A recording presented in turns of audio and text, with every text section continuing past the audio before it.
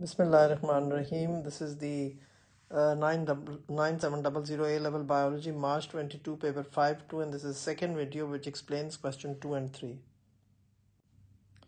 Now starting with question number 2 in the first video we've done question number 1 and in the second video now I'm going to be handling the question 2 and 3. Now in the question 2 it's uh, usually there are only two questions in paper 5 but this paper it has been three questions and the third one is a very small question short question.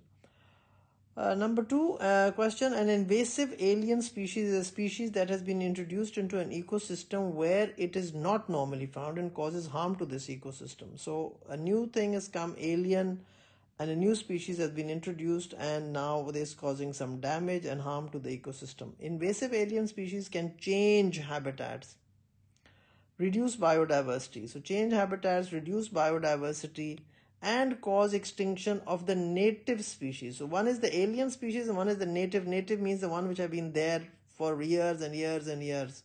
And now we've got the new one. So the native a- a species.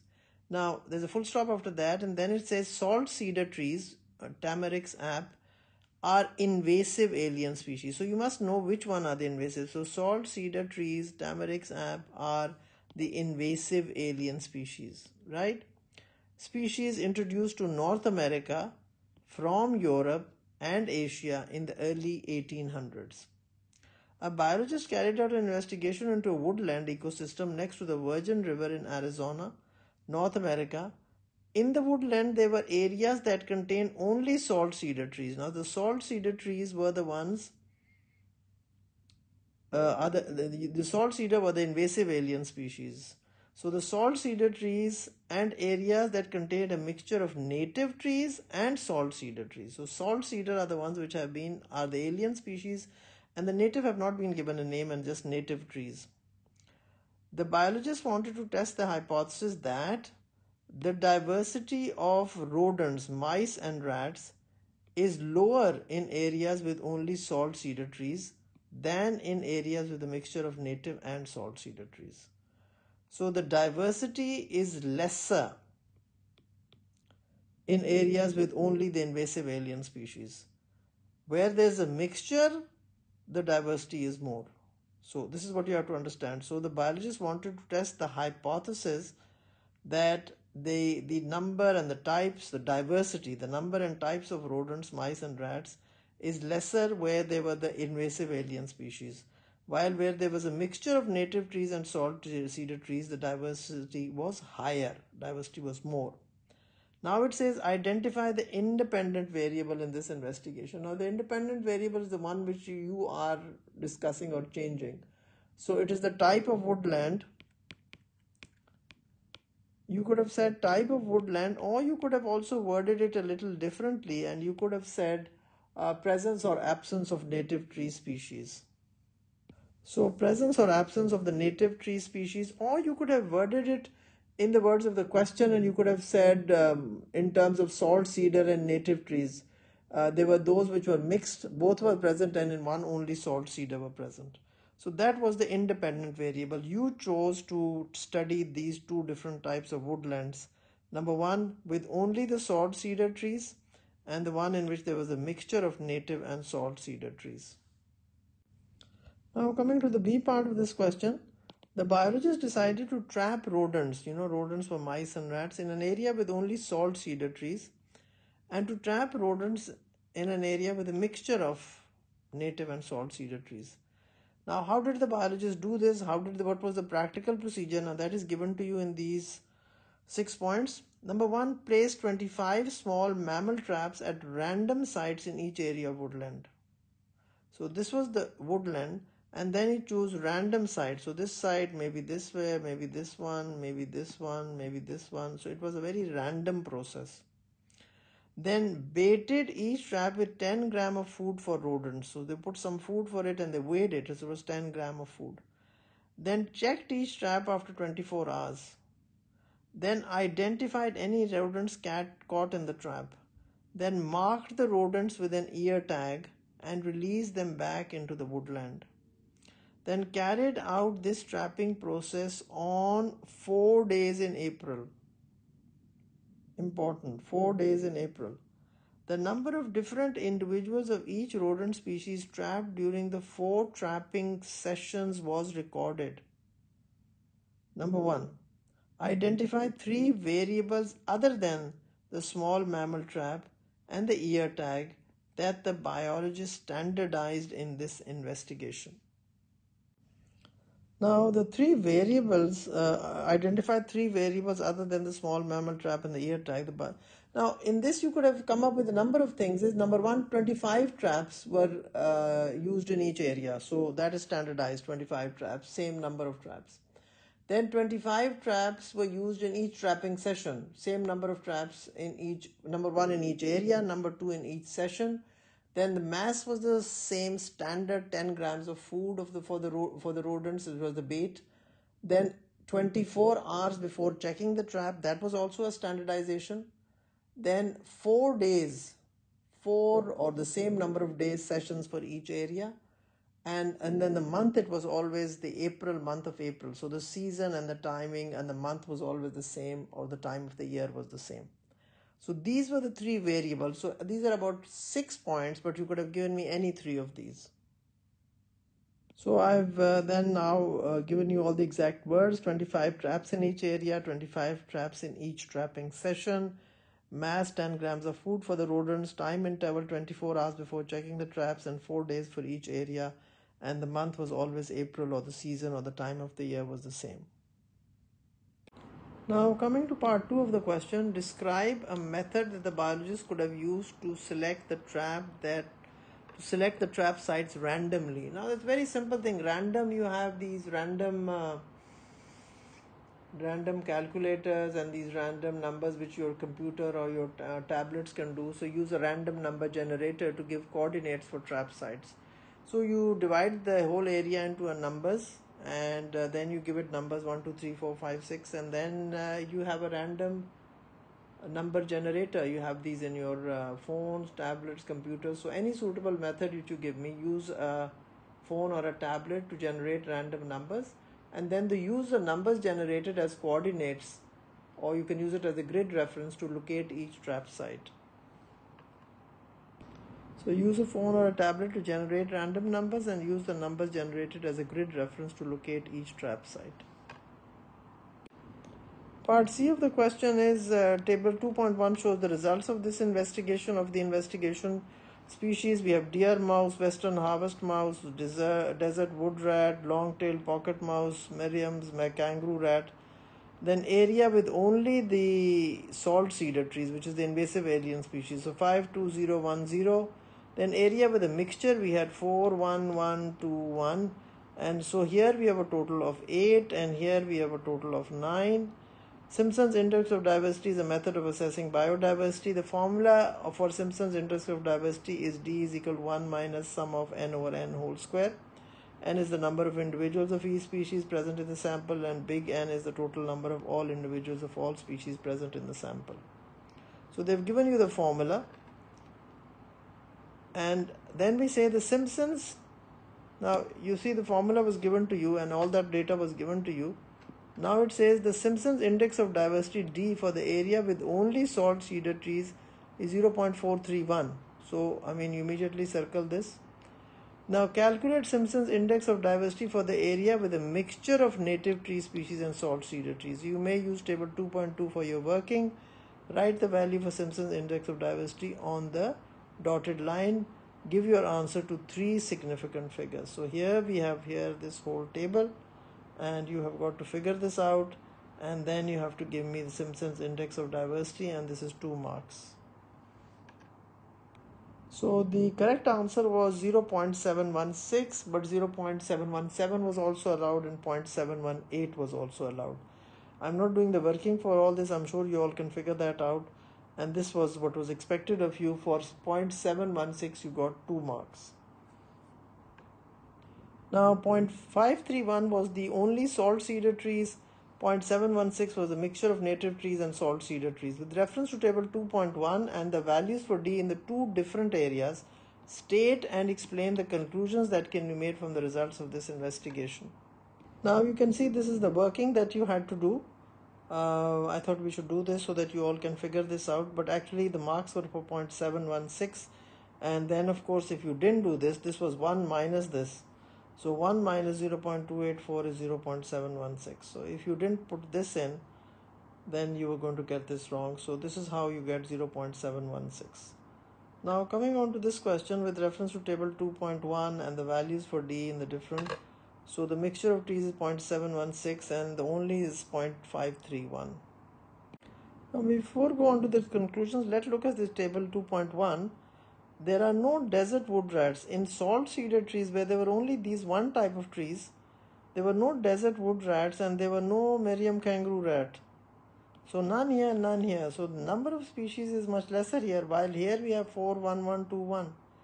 So maybe the salt cedar trees did not have enough food for them, or maybe they didn't have the right nesting place for them, or they didn't have the right uh, niche for them.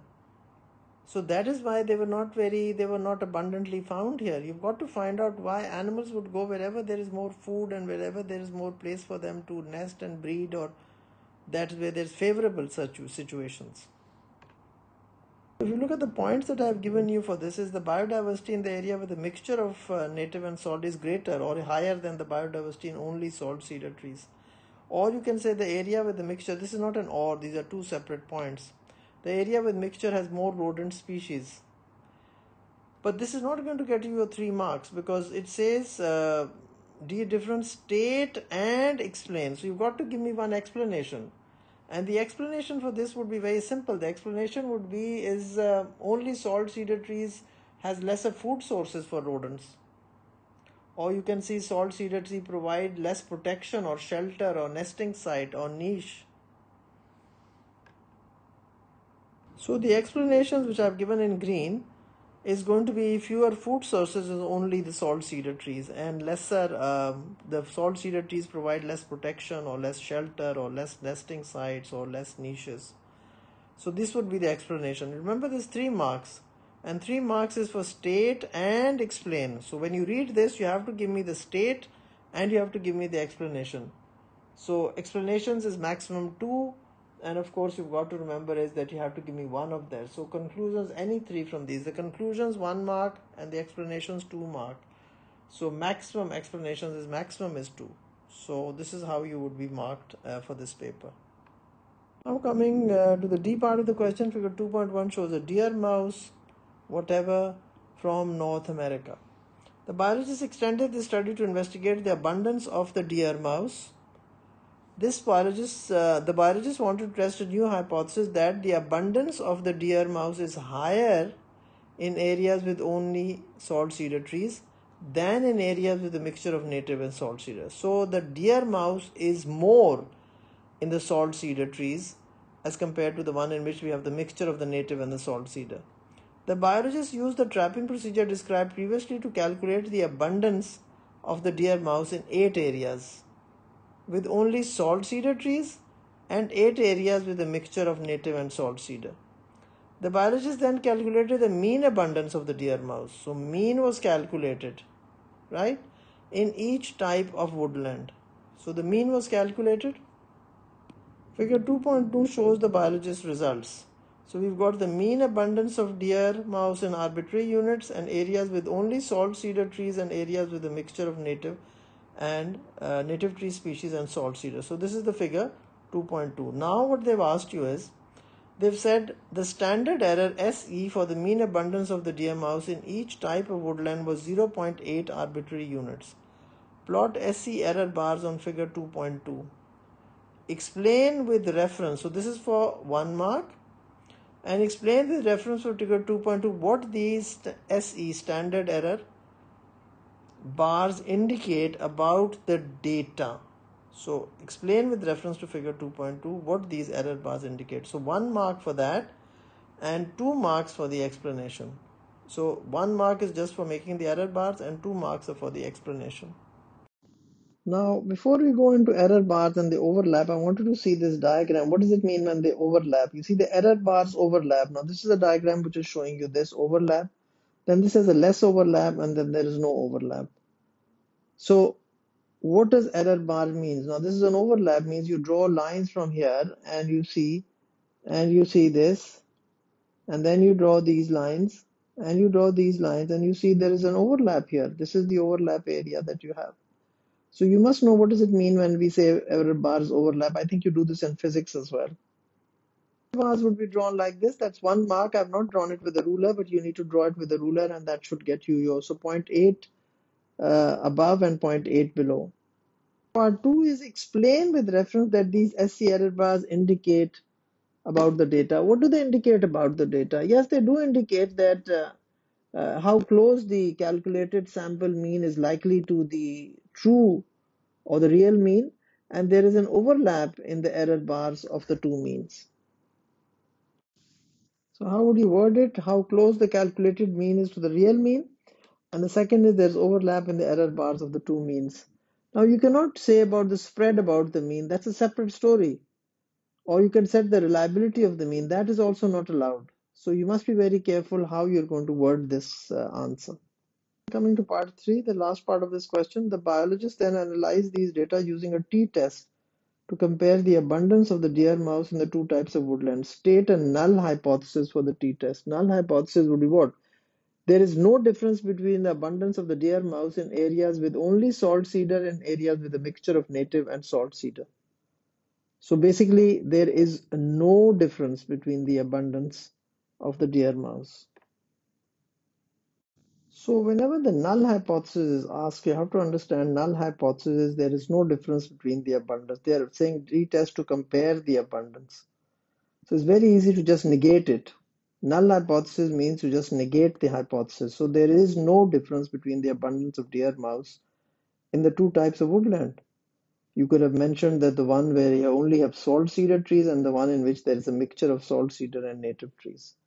So that is the total 13 marks and still there is one more question to be dealt with. Now coming to question number three, mussels are mollusks that live in seawater on the shorelines of coastal regions around the world. Mussels are a popular seafood and so are widely cultivated. After harvesting the mussels, the mussel farmer must replace them with young mussels. This is often done by collecting young mussels from wild marine ecosystems. So read the question carefully. Mussels are mollusks that live in seawater on the shores of coastal regions around the world. Mussels are a popular seafood and so are widely cultivated. After harvesting the mussels, the mussel farmer must replace them with young mussels. This is often done by collecting young mussels from wild marine ecosystems. Figure 3.1 shows mature mussels after harvesting. The slipper limpet, Crepidula fornicata, is an invasive alien species introduced into Europe from North America. Slipper limpets compete with the mussels. So these one are competing with the mussels. So slipper limpets compete with the mussels and reduce the yield of mussels because they must be competing for food or space or niche. Sometimes slipper limpets are accidentally collected with the young mussels. Mussel farmers want to prevent the introduction of slipper limpets when restocking their mussel farms. So when they're putting back the mussels, restocking their mussel farms, they don't want the slipper limpets to go with them. Now, figure 3.2 shows the slipper limpets. Now, they look a little different. These look a little different. They look a little weird and uh, looks like more of a boxing glove. And figure 3.2, right? Next. Scientists investigated the best way to kill these slipper limpets without harming the mussels. Investigated the best way. The scientists put 30 slipper limpets into each of four trays. So we had four trays, one, two, three, and four. Four trays and put 30 into each. So 30 in this, 30 in this, 30 in this, and 30 in this. Each tray of slipper limpets was exposed to a different test condition for a period of three days at a temperature of 12 to 13 degrees Celsius. The four test conditions are shown in table 3.1. So this is 1, this is 2, this is 3, and this is 4. So there were four, uh, what did they say? They put it in four trays, yes and each tray was exposed to different conditions. Now, the first one was air exposure, leave the organism exposed to air. Number two was a brine rinse. At the start of day one, rinse organism with a saturated salt, sodium chloride solution for five minutes and then leave exposed to the air. The third one was repeat the brine rinse. Brin, sorry, repeat the brine rinse, not the brine. Repeat the brine rinse. At the start of day one, day two, and day three, rinse organisms with a saturated salt solution for five minutes and then leave exposed to the air. Then the fourth was a brine soak. This was a brine soak. What did they do in this? At the start of day one, soak the organism in a saturated salt solution for one hour and then leave exposed to the air. So at, at in the brine rinse, it was start of day one, rinse organisms for five minutes and then leave. In the third one, at the start of day one, day two, and three, rinse the organisms. And in the brine soak, at the start of the day, soak them for one hour. This procedure was repeated one with one tray of 30 limpets and one tray of 30 mussels for each of the four test conditions. So we had one tray of the 30 slipper limpets and we had one tray with the 30 mussels. The length was more than 30 millimeter. Here the length was less than 30 millimeter. After three days, the scientists counted the number of dead slipper limpets and dead mussels in each tray. The scientists repeated the whole investigation at a temperature of 4 degrees to 5 degrees using fresh samples of slipper limpets and mussels. The results of these tests are shown in figure 3.3a and figure 3.3b. A mussel farmer concluded from the results of the investigation shown that young mussels used to restock the mussel farm should be given a brine soak treatment, which is this one, a brine soak treatment to kill any slipper limpets that are present. Evaluate this conclusion. You should use the data in figure 3.3a and 3.3b to support your answer. And this is for how many marks? This is for 4 marks. Now let's look at the two tables. So this is 3.3a and we've got all the data, the percentage death rate, air exposure, brine rinse, repeat brine rinse and brine soak. So look at the percentage death rate.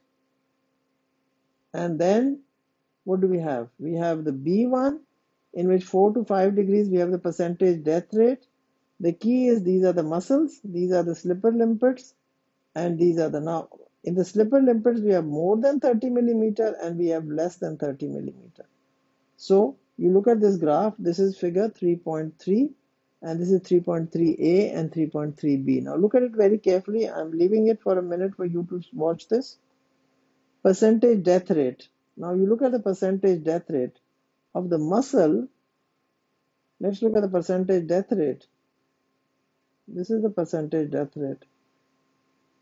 This is the mussel. This is the percentage death rate.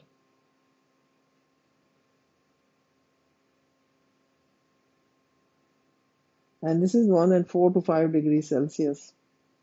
And then look at the slipper limpet, more than 30 millimeter. Let's give it another color.